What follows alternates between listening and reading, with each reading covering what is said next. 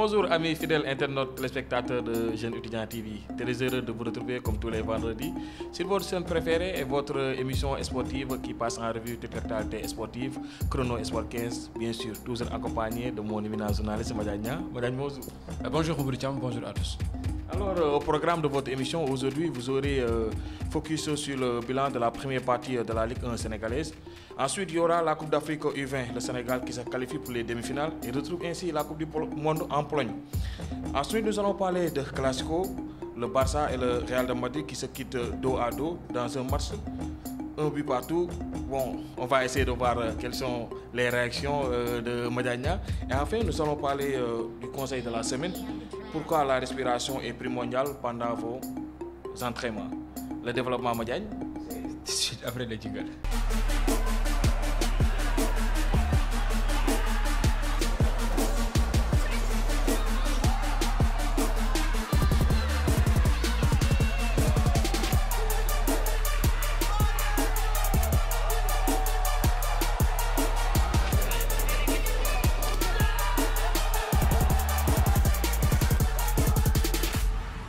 Alors, euh, chers nous allons commencer l'émission avec euh, la Ligue 1 sénégalaise et le bilan de la première partie. Euh, euh, on a discuté la phase aller de la Ligue 1. Reste maintenant les phases retour. Madiagne, donc vous avez suivi pratiquement les rencontres de la Ligue 1. Alors, vos impressions par rapport à cette première partie?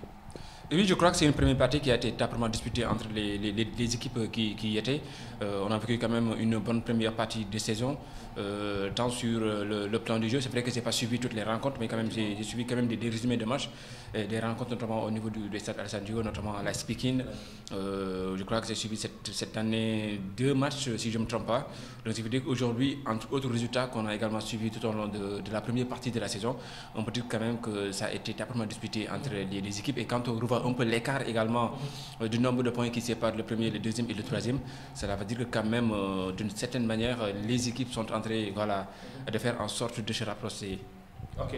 Vous avez parlé tout à l'heure du classement et on a vu que la Speaking occupe la première place euh, lors des phases allées. Attendez-vous à une telle performance des points de Djibifal à vrai dire, je ne m'attendais pas, pas parce que quand même la c'est une, une, équipe euh, qui vient tout juste euh, de monter au niveau de la, de la Ligue 1. L'an passé, ils étaient au niveau de la Ligue 2 et leur objectif euh, cette année, c'est justement le maintien. Donc je ne m'attendais pas. Mais quand même, quand on revoit un peu cette équipe de, de la Speaking euh, avec les rencontres en tout cas qu'elle a livrées tout au long de la saison, il faut dire quand même c'était une très bonne équipe. Et je crois quand même la Speaking, en tout cas, de certaine manière, doit cette performance surtout à sa défense. Parce que quand même, imaginez-vous, la Speaking n'a pas encaissé que 6 buts sur 13 rencontres. Donc c'est une bonne défense. Voilà, c'est vraiment une bonne défense et il faudra également souligner également euh, le gardien de but Malik Djamba qui est vraiment exceptionnel, qui n'a encaissé euh, euh, qui n'a pas encaissé de but les quatre dernières rencontres. Compte tenu de toutes ces situations, je crois que quand même c'est ce qui a fait qu'aujourd'hui la Speaking en tout cas est en tête de ce classement. D'accord. Après à Speaking, nous allons parler de Tenguet FC qui crée aussi la sensation. Les Rufisquois occupent la troisième place à trois points du leader. Et puis euh, surpris euh, de, de, de, de, Rufisquois euh, bah non, parce que quand même, quand on revoit un peu Tenguet FC, euh, c'est quand même une équipe euh, vraiment qui, qui, est en train de monter en puissance un tout petit peu. je vois que quand même avec le président Babacar Ndiaye, ils sont en train de faire quand même un travail qui, est assez bien. Maintenant, il faudra souligner également que ce qui a été peut-être déterminant, c'est surtout le fait aujourd'hui que Tenguet FC a retrouvé quand même euh, son stade, le stade Ngalandou Diouf, qui a été inauguré et qui est maintenant opérationnel. Ce qui veut dire qu'aujourd'hui, Tenguet FC aura derrière euh, la base solide euh, du 12e homme, notamment les, les Rufisquois, entre autres, qui vont venir les soutenir. Donc, ce qui veut dire qu'aujourd'hui, ça peut quand même jouer sur le fait qu'aujourd'hui, que Tenguet FC voilà, fait partie en tout cas des, des trois premiers de, de, ce classement. Et on verra en tout cas ce que cela va donner pour le reste de la saison. Maintenant, nous n'allons pas passer sans parler euh, du champion en titre de l'année dernière, le Djara Qui peine à trouver son lustre d'antan. Alors, comment pouvez-vous l'expliquer? Euh, je dirais quand même que, en tout cas, c'est ce qu'on voit de plus en plus mm -hmm. au niveau du championnat sénégalais. À chaque fois qu'il y a une équipe, en tout cas, qui remporte euh, le titre de champion du, du, du, du Sénégal, l'année suivante, euh, voilà, on voit que quand même l'équipe peine justement à retrouver ses armes, à retrouver son, son lustre d'antan, comme vous l'avez tantôt dit. Donc, c'est un constat qui est en train de se dessiner. Mm -hmm. Maintenant, il faut dire que quand même que, est-ce que quand même le Giraffe de Dakar a quand même ses définitifs pour pouvoir jouer tout au long de la saison. Il faut rappeler également que le Giraffe a joué la Ligue des champions africaine. le Giraffe a été éliminé. Ils ont été reversés au niveau de la Ligue, de la Ligue, de la Confédération africaine de football. voilà, donc la Coupe CAF, c'est veut dire qu'ils ont été éliminés aussi. Est-ce qu'aujourd'hui, cela n'a pas joué côté effectif, entre autres Cela également, il faudra peut-être le, signifier. Maintenant, l'autre chose, c'est que c'est vrai que le Giraffe de Dakar, quand même, l'an dernier, c'était quand même une équipe qui était bien. Mais cette année, on a vu que quand même, surtout à domicile, euh, ils peinent en tout cas à, retrouver justement le, niveau. Et compte tenu de toute, cette situation, je crois que c'est ce qui a fait qu'aujourd'hui, le Giraffe est en train en tout cas de, vivre quand même des difficultés. Merci beaucoup, Madiane, pour ces explications très pertinentes. Mais si vous avez un petit résumé à faire euh, lors des phases à l'aise, ce serait quoi? Ce serait tout simplement dire que, en tout cas, la speaking, c'est la meilleure défense de ce championnat et que Génération Foot, euh, c'est la meilleure attaque avec 18 buts marqués. Euh, ce qui veut dire qu'aujourd'hui, quand on revoit un peu ce ratio, ça veut dire qu'un but par match, euh, c'est la sous-entendre que quand même il y a des équipes qui valent un but par match ici au niveau du championnat sénégalais. Et cela montre également du côté de la speaking, il y a quand même une défense qui est assez importante, une défense qui est assez concentrée, ce qui fait qu'aujourd'hui les poulains de Djibifal sont entrés, en tout cas pour le moment de réussir le Merci beaucoup euh, Madiania. Donc euh, c'était euh, tout pour la Ligue sénégalaise. Donc nous allons attaquer donc la deuxième partie, c'est-à-dire une bonne nouvelle pour le football, ou bien pour les amoureux du football, mm-hmm. à, savoir la qualification des, des Lionceaux pour le mondial qui va venir en 2019 en Pologne. Mm-hmm. Aussi la qualification en demi-finale. Le Sénégal qui bat donc le Ghana sous le score de 2 buts à 0. Ainsi, il décroche la qualification. Alors, Madiagne, vous avez vu la qualification des Lions. Une bonne chose aussi pour le football sénégalais. Oui, tout à fait, c'est une bonne chose pour le football sénégalais parce que quand même, euh, le Sénégal, c'est une équipe qui est respectée euh, en termes de ses catégories. Euh, cela fait quand même, je crois, quatre fois de suite qu'on se qualifie pour les demi-finales de la Coupe d'Afrique des Nations. C'est assez important. Et quand on revoit un peu cette équipe, en tout cas qui, est en train de jouer quand même pas mal de, bons matchs, on peut quand même espérer que cette équipe, en tout cas, va, gagner la compétition. Mais il faudra également le préciser que ce n'est pas une très grosse surprise de voir quand même le Sénégal se qualifier. Euh, c'était une équipe qui été attendue. C'était une équipe qui doit faire mieux que les précédentes éditions. Autrement dit, gagner au moins c'est la finale. Et compte tenu en tout cas des rencontres qu'ils ont jouées, on peut espérer. En tout cas, j'ai été surpris de voir le Sénégal quand même battre le Ghana. Euh, j'ai suivi la rencontre contre le Burkina Faso, euh, contre euh, laquelle le Ghana a quand même livré un bon match. Voilà, des joueurs qui sont très disciplinés sur le plan tactique. Voilà, une très belle prestation. Mais quand même, le Sénégal est parvenu à battre le Ghana. C'est dire que quand même, c'est une équipe sur laquelle il faudra compter pour cette compétition. Voilà, donc restons un peu sur le Sénégal. Deux matchs, deux victoires, quatre buts marqués zéro encaissé, le Sénégal ne pouvait pas espérer mieux, n'est-ce pas, Oui, tout à fait, tout à fait. Le Sénégal ne pouvait pas espérer mieux quand même. En tout cas, c'est une entrée en matière qui est très réussie pour cette compétition. Euh, on n'a pas encaissé de but. On a marqué quand même 4, euh, buts, comme vous l'avez tantôt dit. C'est toujours important de, se rassurer, voilà, de, trouver quand même la, bonne mise. Et quand on revoit un peu la première rencontre, c'est vrai que ça a été un peu compliqué. Euh, d'une certaine manière, cela a permis également au coach Youssouf Dabo de beaucoup plus voilà, changer justement l'effectif. Et on a vu que quand même pour cette rencontre contre le Ghana, notamment des gens qui sont entrés en première partie, notamment Falinda, entre autres. Euh, voilà, cela sous-entend que quand même c'est une bonne équipe sur, sur, laquelle il faudra quand même compter. J'espère qu'ils vont gagner en tout cas cette compétition. Alors, merci Madiane. Donc après la qualification, euh, il reste un match.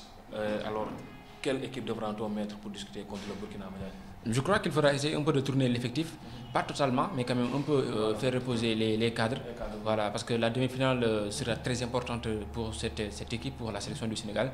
Donc euh, je crois que Youssouf Dabo également, c'est un coach qui est assez expérimenté, c'est un coach qui connaît le haut niveau pour avoir entraîné des clubs ici au niveau du Sénégal, mais également pour avoir fait sa formation au niveau de la France. Je crois que quand même, quelle équipe faudra devra-t-on mettre en place C'est surtout faire en sorte de reposer les cadres et de donner la chance aux joueurs pour qu'ils puissent voilà, eux aussi euh, jouer.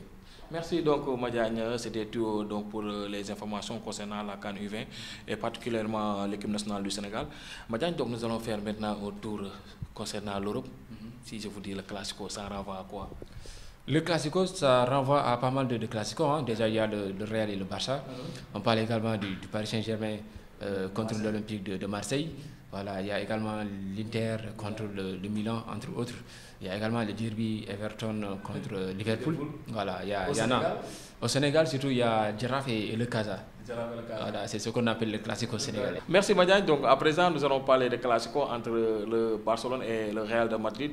Cette semaine, la Coupe du Roi a été disputée par les deux équipes euh, de très grande taille et ça s'est soldé par le score nul de 1 but partout. Madiane, vous avez vu une bonne option pour le Real de Madrid, n'est-ce pas?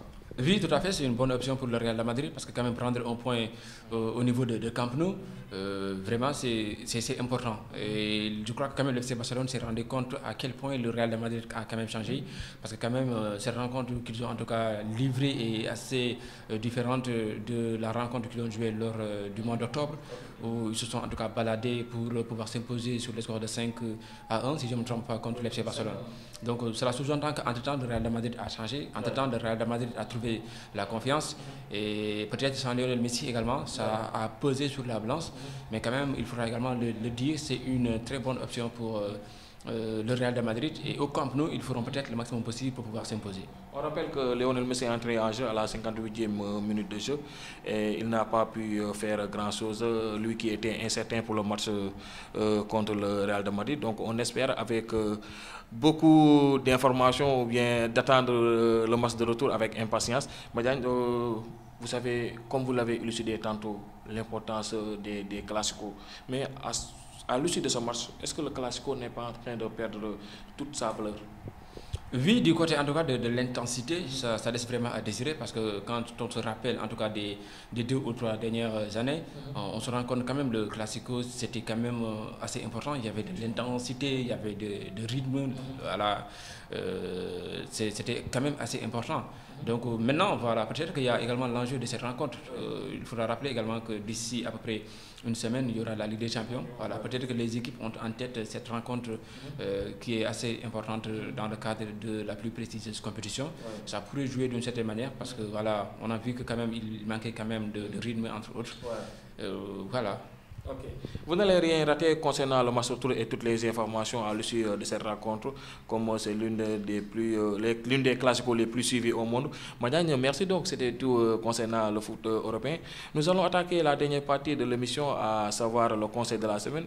C'est avec notre reporter Jean-Darc Cocoli tout de suite. Bonjour Mamadou Kiam, bonjour chers internautes. Aujourd'hui, nous allons parler du pourquoi la respiration est primordiale pendant vos entraînements. Vous êtes souvent à bout de souffle, vos entraînements vous paraissent trop épuisants, vous avez l'impression de ne pas progresser suffisamment, pensez à vous concentrer davantage sur votre respiration, car il faut y mettre du vôtre pour remédier au problème.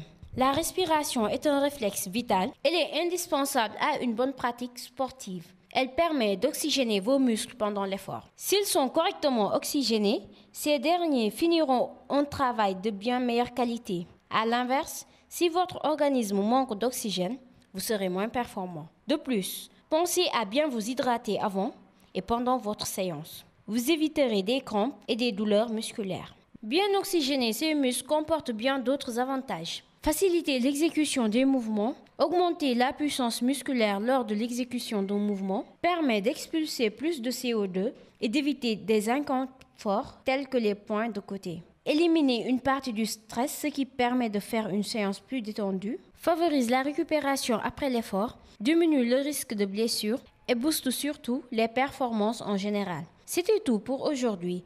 Merci d'en prendre note et on se dit à vendredi prochain. Merci beaucoup euh, Jean-Darc Donc Madiagne, euh, c'était à l'instant le conseil de la semaine.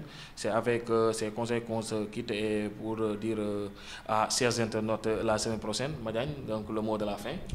Le mot de la fin, c'est justement donner rendez-vous les, les internautes Jeunes Étudiants TV prochainement pour notre numéro. Chers internautes euh, et téléspectateurs de la euh, chaîne Jeune Étudiant TV, euh, merci d'avoir passé ce petit moment avec nous pour votre émission sportive Chrono Sport 15. C'est toujours un plaisir de vous présenter votre émission. Mes remerciements à l'équipe technique qui m'a aidé à la réalisation de l'émission, Sorna Zandar Koli ainsi que Baye Babakar. N'oubliez pas de vous abonner sur notre chaîne YouTube Jeune Étudiant TV, étudiant.com, jeuneétudiant.com. C'est le plaisir de s'informer avant de